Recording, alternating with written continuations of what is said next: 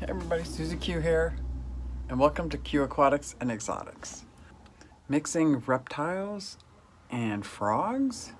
What? I held back one unboxing from Repticon. Let me show you what I got. I'll be mixing reptiles and frogs in the same enclosure.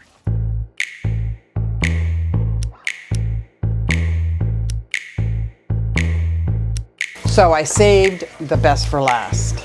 Are you ready? Ah! Ah, look what I found. Team Green Alliance all the way. All right, let me focus the microphone so you can see this. Are you ready for this? There are, are no names yet. And let me remind you what my other main hobby is, in case you didn't remember. I'm a miniaturist. I make dollhouse furniture, landscaping, tiny little things. That's what I make, right? That's what I do. Love tiny little things. You gotta look at these. Mourning geckos. Let's see if you can see that in there. Move the sticker out of the way. Can you see that? See my finger? See how tiny? Now these mourning geckos, and of course I got two. Oh, and do you know why I got two? Can you see this one? Do you see this one behind my finger? See that little thing? I got two because they will stimulate each other let me let the expert explain. Mourning geckos are parthenogenic, which means they're all female. And once they're adults, the two females will stimulate and encourage each other to start egg production. And which means they're going to make eggs that are clones of themselves.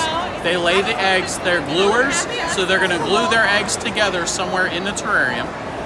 After about between 60 and 90 days, they will hatch out and you'll get miniature versions of the adult. Now, will the poison dart frogs eat them? The babies potentially if you have large darts. So what we try and do is catch the babies, raise them up until a large enough size that they're not uh, potential food.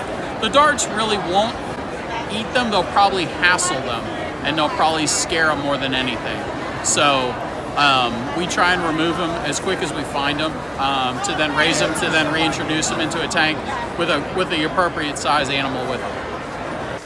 So I'm going to put these in with my poison dart frogs. I'm still, oh, they're so stinking cute.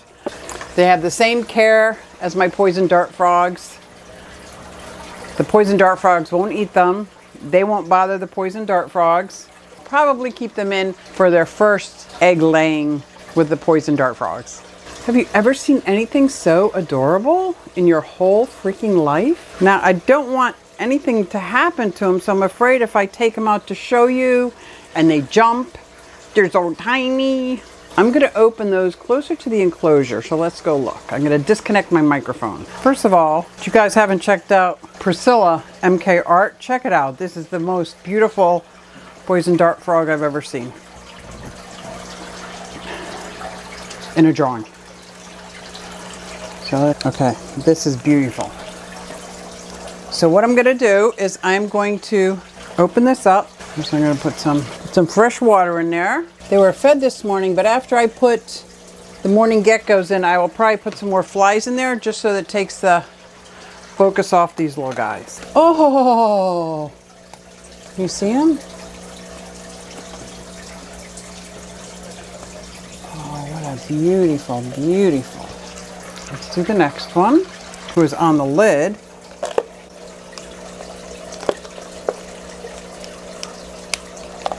There we go.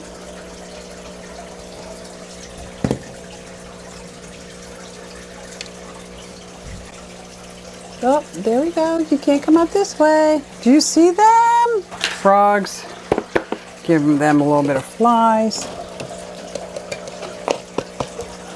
Normally I sprinkle them with calcium, but they already ate this morning.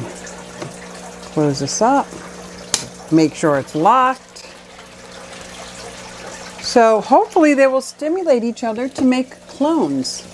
What do you think about that? So I absolutely love my mourning geckos and I can't wait till they clone themselves. Oh my gosh. See you next time.